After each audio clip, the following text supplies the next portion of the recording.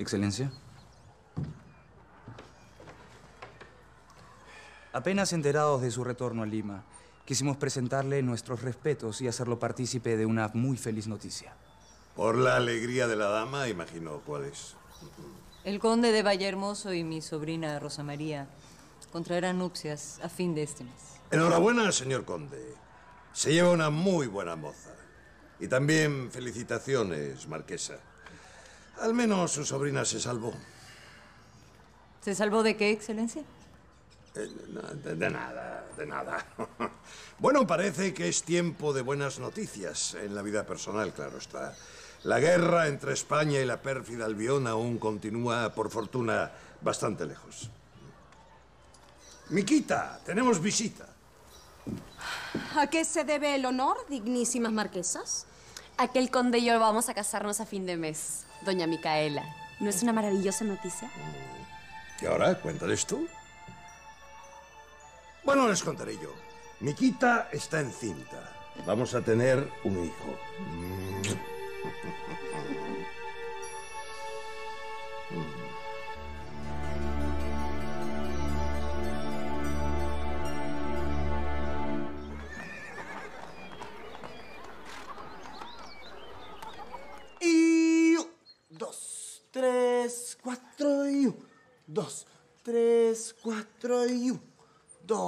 Tres. Estacio. Mantén el compás, estamos bailando minuet, no música negra. Señor Massa, por favor, dígale a Baquíjano que no me mandone. Me siento agotado por haber estado en el frente de batalla. Sí, a mí también me están doliendo las rodillas. Lo que pasa es que se me metió la neblina. ¿Dove?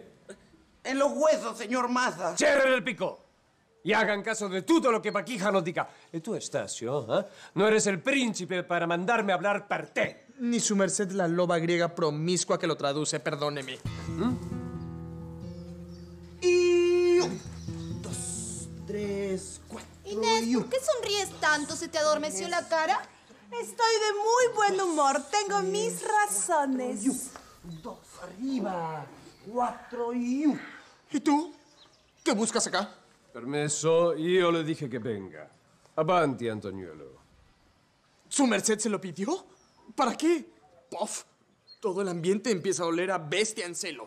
Estacio, yo sé que esto no va a gustarte, mas yo le pedí a Antoniuelo que se una a la compañía, como comodín, reemplazo por si hay ausencias, como, ¿eh? como en casos de la guerra. ¿La loba trabajando con nosotros? Me encantará ser su nuevo amigo y colega. Fue una idea brillante que tuve y al señor Massa le encantó. Antoñuelo será un perfecto galán para mí, no como otros a quienes soporto hace tiempo. Yo no puedo aguantar ni cinco minutos bajo el mismo techo. Si entra la loba, yo renuncio. Me voy para siempre.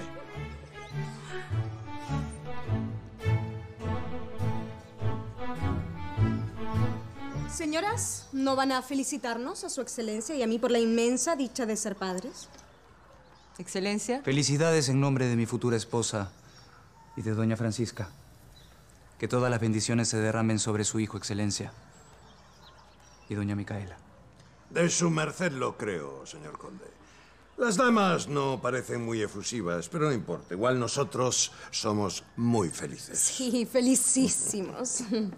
Creo que debemos retirarnos.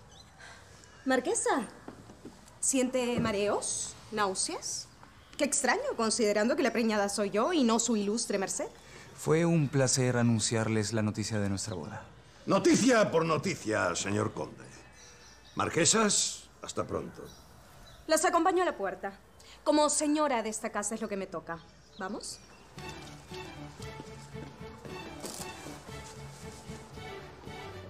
Con licencia.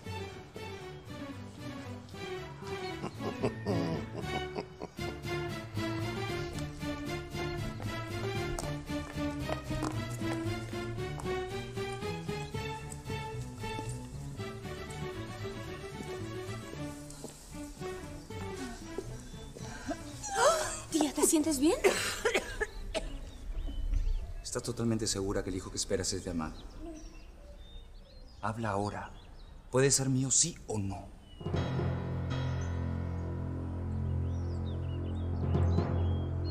Elija, señor Massa. O la loba griega puerca cochina asquerosa, o yo. Qué poca dignidad tienes. Con razón mi chocolatito con leche te botó como un pañuelo viejo. Antoñuelo, si pretendes quedarte no eches más leña al fuego. Su merced sabe que soy un primer actor con gran temperamento. Si entra el chosno, yo me voy. No acepto extorsiones. ¿Mm? Antoniuelo se queda. Capisci? Muy bien. Capisci. Dejaré el teatro. Tendré que vivir de la caridad ajena, mendigar, tal vez hasta tenga que vender mi cuerpo. Papagaya vieja, ¿quién va a pagar por ti? Más bien tú tendrás que pagar, aunque no creo que encuentres a alguien tan necesitado. Estasio, basta de majaderías. ¿Es tu última palabra? Sí, señor Massa. Y no olvidaré esta afrenta. Inés, la loba griega y el pirano infiel llorarán sangre por lo que hoy me hacen. Mi venganza los alcanzará a todos. Y mal rayo los parta. Estacio, no te vayas así. No entiendo. ¿Estamos ensayando un nuevo drama? No, Chepita. Yo también lloraría, pero sufro de ojo seco. Olvídense de penas y dolores. Antonio Cuscabafis ha llegado para alegrarles la existencia. Y tú quita esa cara de viuda. Señor Massa, ¿me dará el papel protagónico? ¿Ese hijo que esperas puede ser mío? ¿Quieres que te responda al lado de tu prometida? Eres patético. Encuéntrame mañana temprano en la Alameda. Yo estaré ahí. Por favor. Marquesa. ¿Tiene náuseas? Vuelve a Palacio, le presto mi cama. No. Vamos. Sí, tía. Estar aquí enfermaría cualquiera. Entonces, ¿a qué diantres vinieron? Adiosito.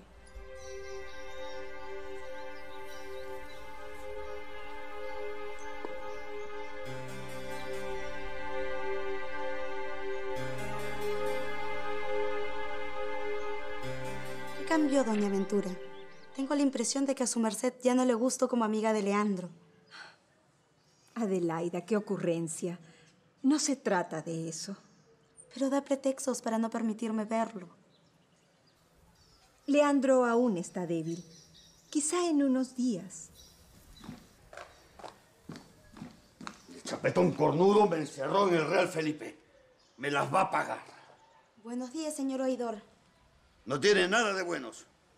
El dichoso herido sigue en mi cuarto.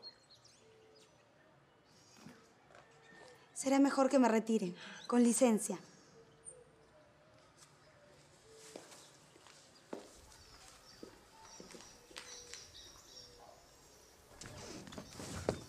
Don Pedro. ¡Cuánta agilidad!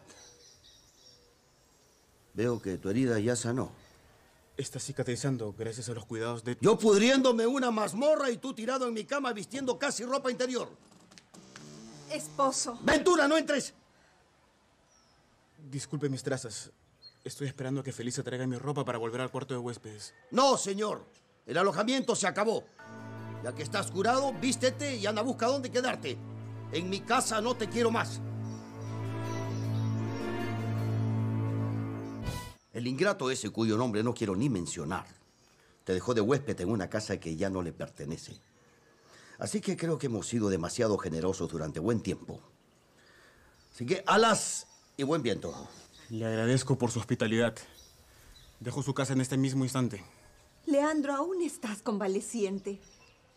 Ventura, no me contradigas. El huésped se va. ¿Pero a dónde? Su herida aún necesita cuidados. No puede irse así. Doña Ventura, no se preocupe. De verdad me siento curado. Ventura, no lo mires. A pesar que tienes edad para ser su madre, resulta que este no es tu hijo.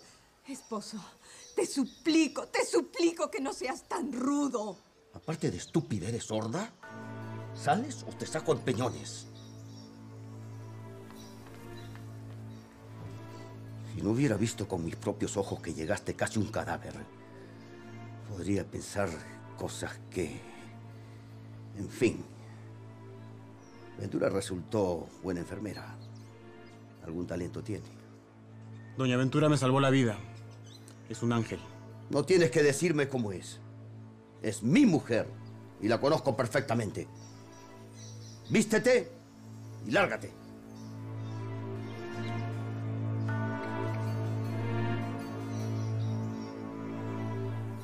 ¿Te burlaste lo suficiente de la marquesa Chupacirios? Por hoy sí. Se me antojó hacerla rabiar. ¿No te parece raro que vinieran a anunciarnos la boda? A mí qué me importa si el conde se casa o se mete a cura. Cosas de la marquesa. Sabes que le encanta guardar las formas. Pobre mujer. Apuesto a que araña las paredes pensando en que su sobrina sí come, mientras que ella se queda olfateando el estofado.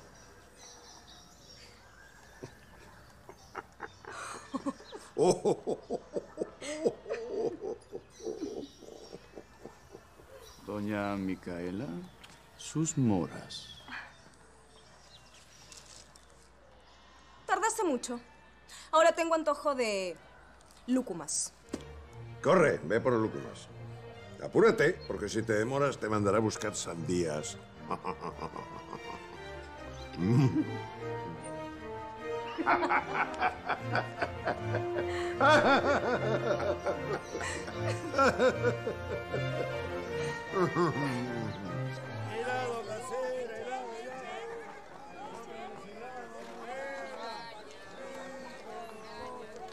Santiago, si Paloma le hubiera entregado su pureza a otro hombre antes que a ti, ¿igual amarías? Supongo que sí. Manolín, a las aves monógamas no les importa tanto eso. Se juntan con uno a la vez y ninguna pregunta sobre el pasado de la otra. ¿Lo dices por Carmencita? Shh, cállate. Nadie debe enterarse que Carmencita ya no es doncella. Es un secreto. Ay, Manolín, Manolín. ¿Alguien en la ciudad de los reyes cree que Carmencita lo es? Ni a ella ni a nadie le importa gran cosa. Al único que parece importarle es a ti. Espérame.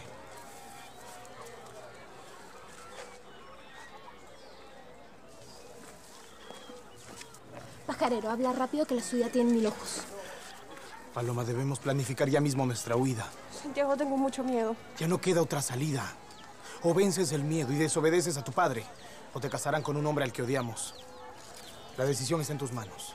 Las alas para volar muy lejos de aquí las pongo yo.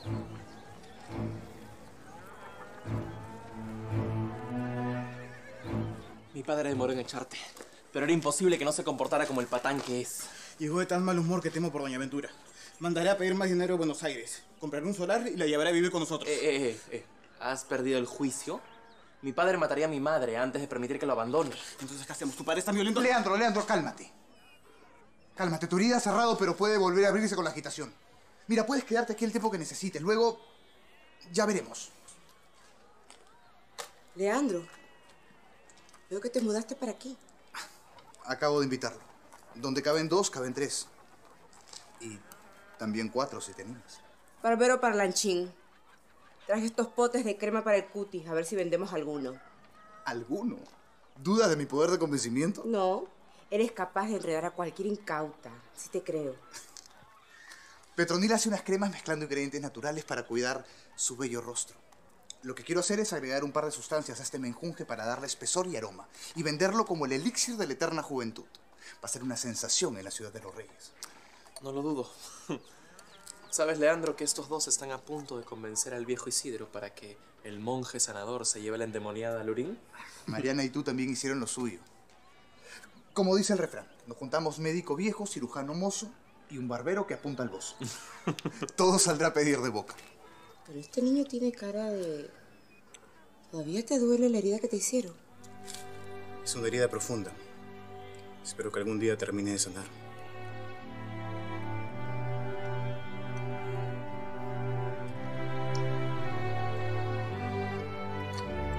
Paloma, el volador tiene razón. O te escapas o tu vida se arruina para siempre. Mi padre jamás me lo perdonaría. Eliges la obediencia y no el amor que sentimos. No he dicho eso, pero entiende que es como arrancarme el corazón. Pajarero, no le hagas caso. Paloma volará contigo. No es tan orate como para casarse con Pulido solo por obedecer. Tú planifica la oída. Gracias, Carmencita. Confío en ti. Te amo. Y yo a ti. Te veré mañana.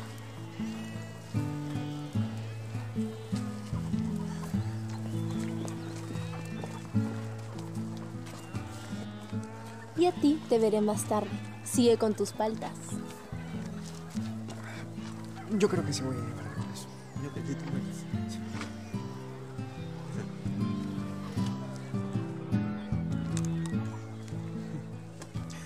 Huiremos juntos. Estoy seguro. Empezaremos una nueva vida muy lejos. No nos dejaron otra salida. Te echaré de menos, Santiago. Yo también, Manolín. Pero prométeme que dejarás los hábitos de novicio y te quedarás con Carmencita. No, no me pidas eso a estas alturas, Santiago. Cuando ya tengo muchas dudas existenciales en la cabeza. Quiero saber quién fue su primer hombre. Quiero saber. Pasmarote. ¿Qué importa eso ahora? Mira, si ella te ama, no la pierdas. Dios va a comprender. No te pegues con la pobre palta que no tiene ninguna culpa.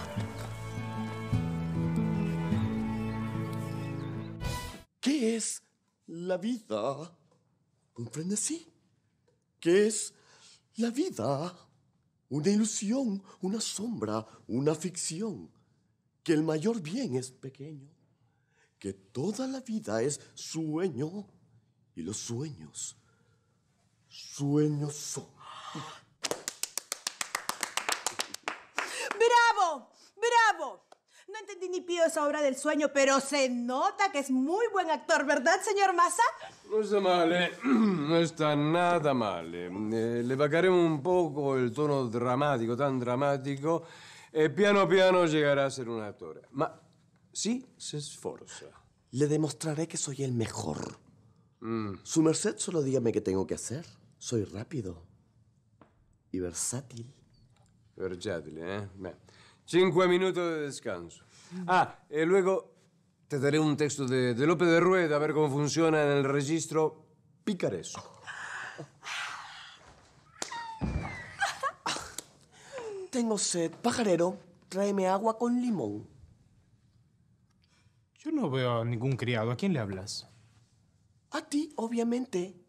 Me imagino que aquí hay jerarquías. Yo soy un actor y tú un simple tramoyista. Antoñuelo. No te metas. Un simple tramoyista. Vuelve a decir eso y te hago tragar el telón y luego jalaré las cuerdas para sacártelo por las fosas nasales. ¿Entendiste, mequetrefe? No le hagas caso, es loquito. Todo el mundo lo sabe. ¡Qué horror! ¡Qué espanto! Hay cada desubicado en este oficio. Santiago, perdónalo. Voy a hablar con él. No quiero meterme en tu vida, vaquíjano. Pero ese Antoñuelo te ha hechizado. Y, bueno, nada. Tú sabrás.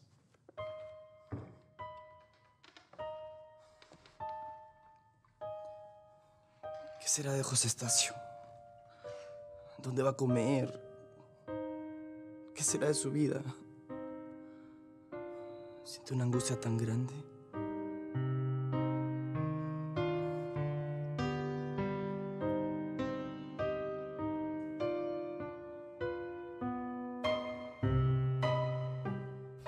¿Quieres ser fraile?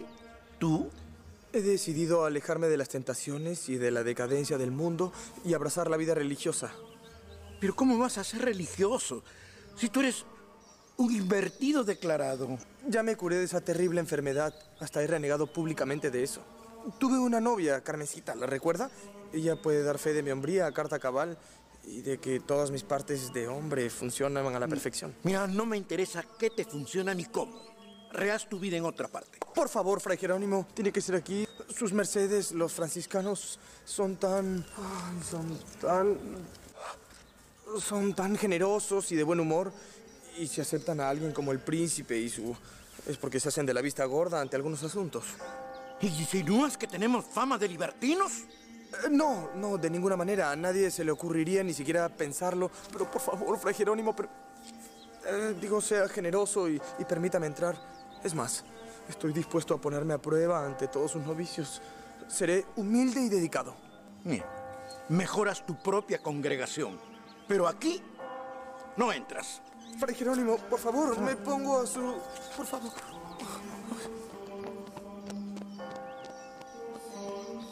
Yo me llevaré una. No es barata, así que será un gustito. Gertrudis, yo te la pago. Luego tú me haces un descuento para el vestido de maternidad de Micaela. Muy agradecida. Eufemia, ¿no quieres una? ¿Diez maravedíes por una crema para la cara? No. Allá las que necesitan afeites. Yo estoy radiante para mis 22 primaveras. Más unos 15 inviernos. Señoras, con esta crema verán cómo su piel rejuvenece. Petronil ha inventado una fórmula mágica. Mágica. Ah, no me asombraría que fuera bruja, ya que vive con una endemoniada. Ya que lo mencionan, qué terrible, ¿verdad, Petronila? Que un demonio haya poseído una muchacha en Lima. Es una cruz que debemos cargar todos. Porque todos. Si el único que sufre es el doctor, que no pudo hincarle el diente a Marianita. La verdad es que a nosotros ni nos va ni nos viene. Ay, es que... Fígaro, cuéntale esto. Lo que sucede es que el monje Jeremías Sanador me dijo que el asesino de nobles, la guerra con Inglaterra y hasta los nuevos impuestos se deben a que el maligno asentó domicilio en la ciudad. Ay, Dios mío. Como dicen, donde hay un demonio cerca, todo literalmente se va al diablo. Si tienes razón, hay que alejarla de aquí. Vecinas, hay que exigir que se lleven lejos a la endemoniada. Como no lo vimos antes y está más claro que el agua. ¡Alejemos al maligno! ¡Alejemos al maligno! Hay que alejar al maligno de nosotros. En Lima, una lengua filosa vale por 10 campanas. Y siempre todos están dispuestos a odiar al prójimo.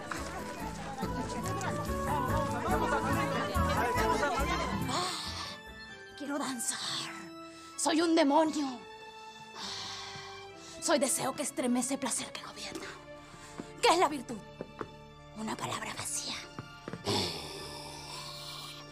Ya no sigo más reglas que mi gozo. ¡Lárgate, Satanás!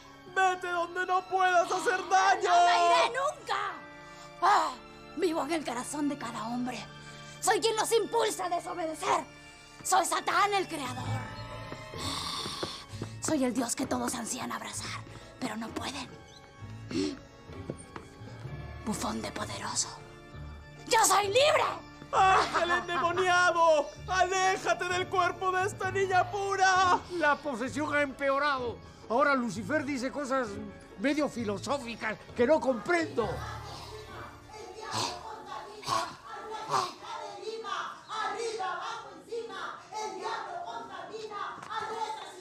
Doctor Isidro, las beatas culpan a Mariana de todos los males y exigen que la saquen de Lima. Temo por su vida. Una maldición se ha apoderado de mí. Me rindo, ya no lo soporto. Que el monje se la lleve. Llévesela Lurín. Confío en su merced. Voy a calmar a las beatas. Lo convencimos, lo convencimos. Memoricé todo lo que me dijiste. Son ideas avanzadas, amor mío. Al fin nos iremos juntos. Arriba,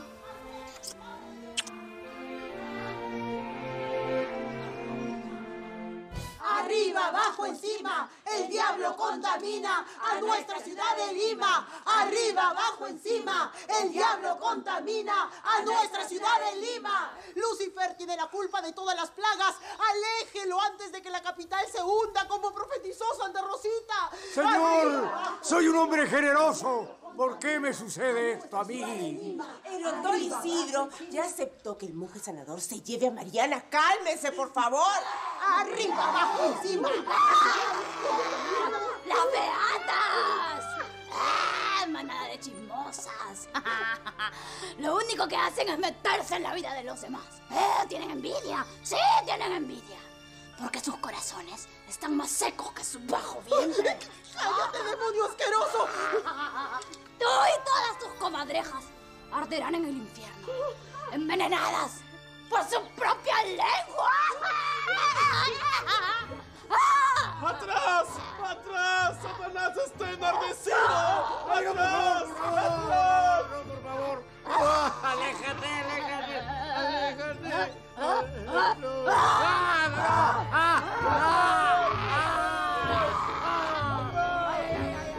¿No dice el Señor que hay que darle pan al hambriento y agua al sediento? Bueno, pues yo quiero mojarme con la santa palabra. Pues mójate en otra parte. Y no des tantas vueltas como un moscardón, que mareas. Le diré a todo el mundo el trabajo que hizo su merced para curarme. Dudo mucho que estés curado y no pienso avalar una mentira. Si tanto le molestan los invertidos, entonces ¿por qué deja vivir aquí a la loba promiscua que funge de secretario del príncipe del Líbano, ah? Te aseguro que no fue mi voluntad. El virrey nos obligó a recibirlos. ¿Seguro? Vive en habitaciones grandes y cómodas y cerca de los castos novicios. ¿Sabe Dios qué barbaridades estarán haciendo con todo esto? Ah, ya caigo. Dices que quieres ser novicio, pero en realidad quieres estar cerca del griego porque lo odias. Pero qué venganza tramas en tu cabeza, chorlito. ¿Qué? Fray Jerónimo, qué imaginación tan desbordante. Lo último que se me ocurriría es vengarme o hacerle algún tipo de daño a la loba sarnosa de porquería de Antoñuelo. Yo no albergo odio ni rencores contra esa basofia de porquería, hija de la gran flauta, que contagia a todos con sífilis y peste bubónica y que terminará con mocos verdes, llagas purulentas y, y gusanos peludos en la cara. Yo lo voy a matar. a Llévenselo. Otro endemoniado. Acabáramos. Gusanos peludos matar porque es una... Suéltame, por eso quiero ser novicio. Si lo dejamos, de repente No, se relaja. Quiero ser novicio para matarlos, para vengarme de esos dos ratos.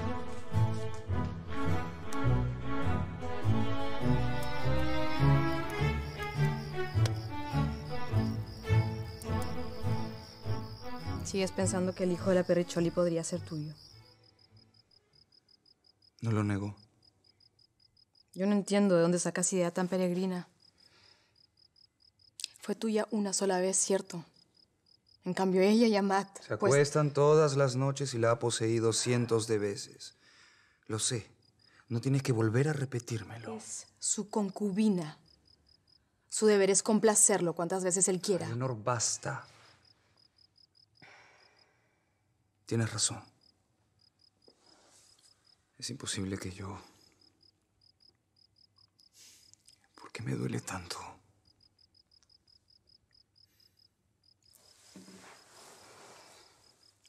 Piensa por un instante que si ese hijo fuera tuyo sería más doloroso aún. La Perricholi no dejará al virrey. Y tú no dejarás tu disfraz del conde de Valle Hermoso. Así que igual, ese supuesto hijo será criado por otro. ¿Y si yo decido cambiar?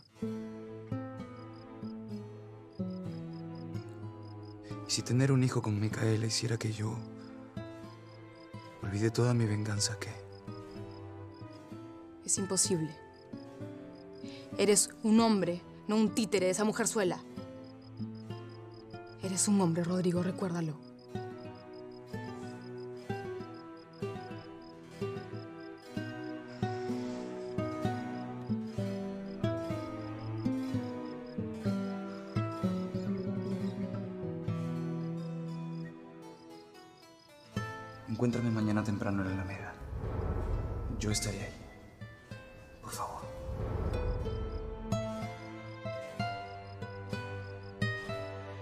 Esos días en el Real Felipe agudizaron mi gota. Necesito los emplastos de Isidro. Miquita, ¿me estás escuchando? Sí, chapetoncito. ¿Te duele mucho? Todavía no, pero es mejor prevenir. Dile a Palmer que vaya a buscar al doctor Isidro. O no, mejor llama a José Perfecto, que él se encargue. Te encanta fastidiar al gallinazo. Tuve un antojo. Y también se me antoja que él me obedezca. Miquita, yo sé que Perfecto no es pepita de oro para caerle bien a todo el mundo, pero siempre me ha llamado la atención la enorme ojeriza que le tienes.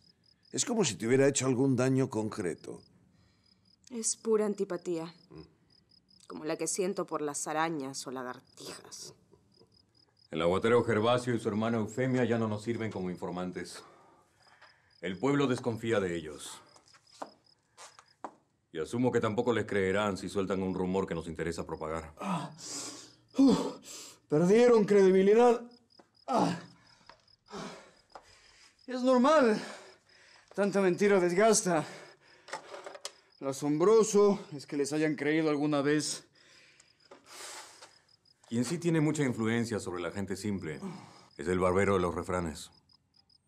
Escuché que convenció a una horda de beatas para que expulsen de Lima a la endemoniada de Isidro.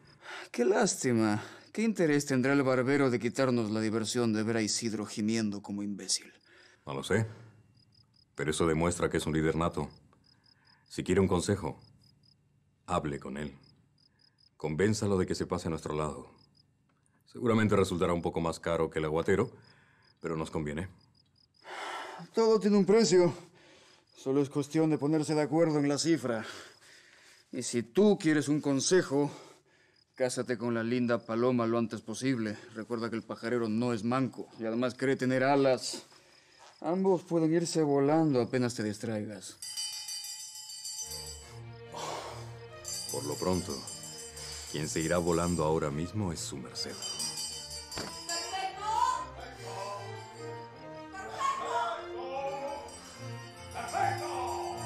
Agua de la fuente. A esta hora. Sí, perfecto. Agua fresca para saciar mi sed y la del pequeño guerrero que está en camino. Y de paso despierta a Isidro y tráeme emplastos para la gota. Espera. Antes cacareaste, ahora vete... graznando como pato. Grazna y apúrate, que repámpanos. Cuac. Con licencia. No, pues. Hazlo bien.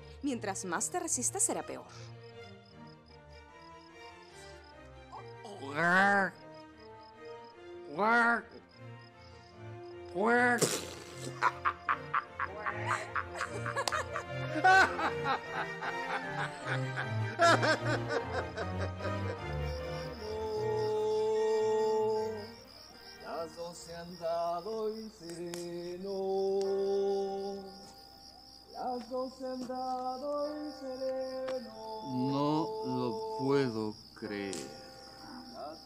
¡Sereno! ¿Por qué diablos no hay agua? A esta hora a veces no hay. Vaya a la fuente de la plazuela de la Merced. Esa siempre tiene. Hasta la Merced. Pero está lejísimo, son cinco cuadras. Es la única segura. Dos.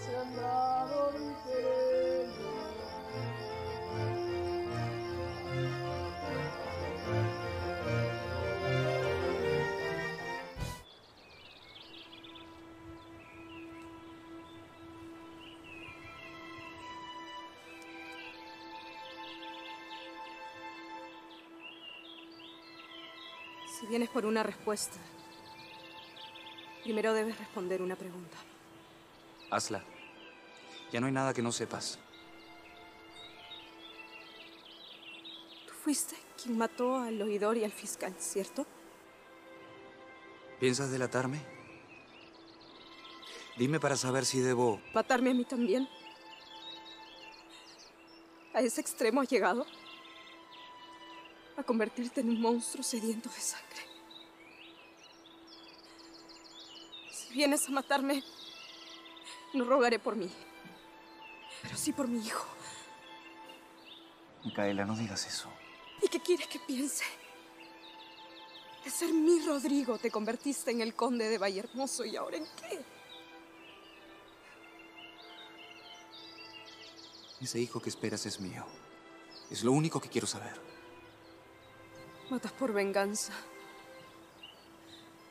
Te condenaron en una farsa de juicio. El oidor y el fiscal fueron parte de él. ¿Quiénes siguen en tu lista? Tú no sabes lo que se siente ser tratado peor que una limaña. La rabia, la impotencia, la... ¿Crees que yo no conozco la desesperación? ¿Mi padre muerto? ¿Yo vendida? ¿Mi madre y yo solas a merced de un miserable? ¿Crees que eres el único que ha sufrido? Pero yo no quiero matarle. No puedo. Excepto por él. Para protegerlo a él. Yo sí soy capaz de convertirme en una fiera. No de matar por venganza. Siento odio, sí. Tengo mucho resentimiento, sí. Pero hoy que la vida crece en mis entrañas, la respeto más que nunca. Pues así como crece ese hijo dentro de ti, yo tuve mucho tiempo para que crezca el odio dentro de mí. No me importa que el mundo me llame asesino. Yo solo hago justicia con quienes me mataron primero.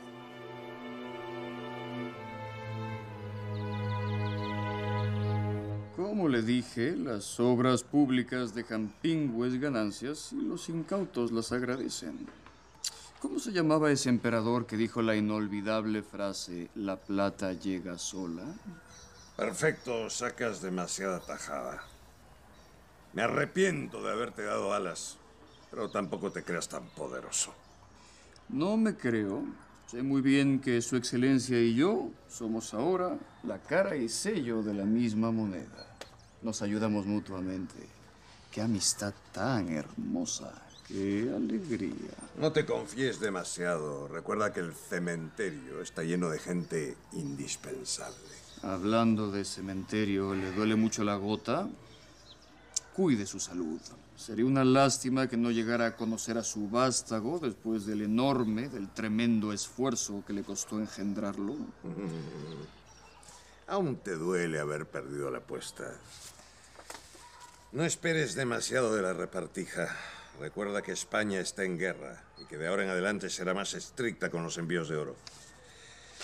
En tiempos como este, hasta le doy la razón a los criollos. Visto de su lado, es una reverenda estupidez seguir siendo colonia para pagar cortes y guerras ajenas. En el fondo piensa igual que su archienemigo, el oidor don Pedro. Con la diferencia que su merced es el virrey, el representante del rey Carlos III y para todos los efectos prácticos quien manda y ordena en el virreinato del Perú. ¿Se ha puesto a pensar que si le diera la gana, su merced podría...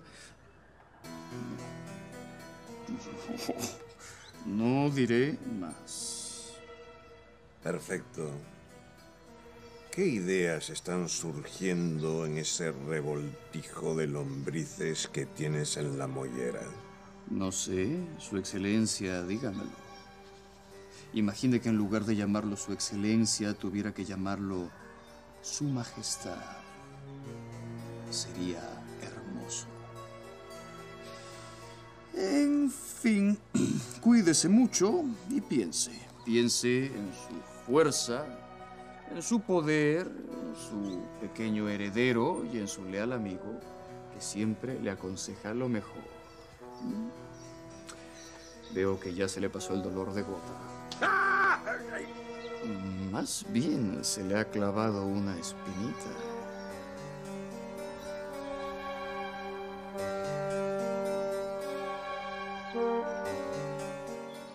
Venganza que llamas justicia acabará contigo.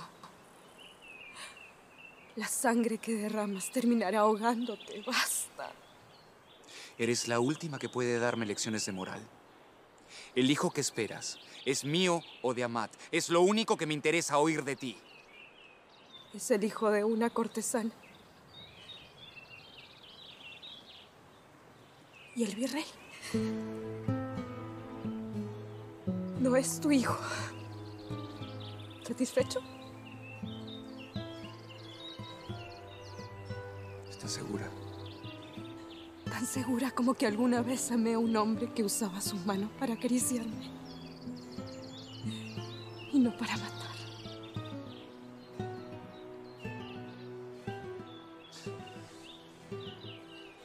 Qué ridículo fui al preguntarlo. Puedes burlarte de mí. Lo merezco. Ahora regresa a la cama del padre de tu hijo. Que yo muy pronto meteré a la mía, la marquesita, como mi esposa. Ah, por cierto, estás invitada a la boda. Adiós, Perricholi. Perdóname.